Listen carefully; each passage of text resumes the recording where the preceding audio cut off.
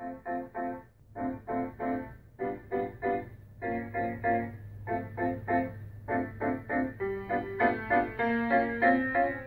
lots of pretty people here sharing soldiers and passing letters and there's lots of questions answered and metaphysical, astronomical songs first printed all on papers that seem too mystical. It's so magical.